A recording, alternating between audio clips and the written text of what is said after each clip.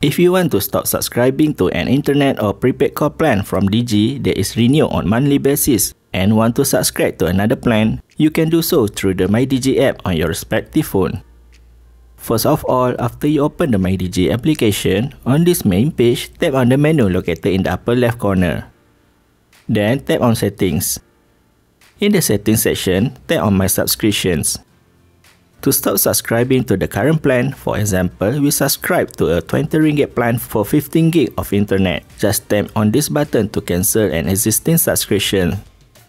After that, as a confirmation, tap Confirm. Cancellation of the subscription will be done immediately.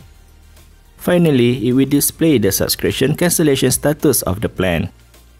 After this, you can change or subscribe to another internet plan.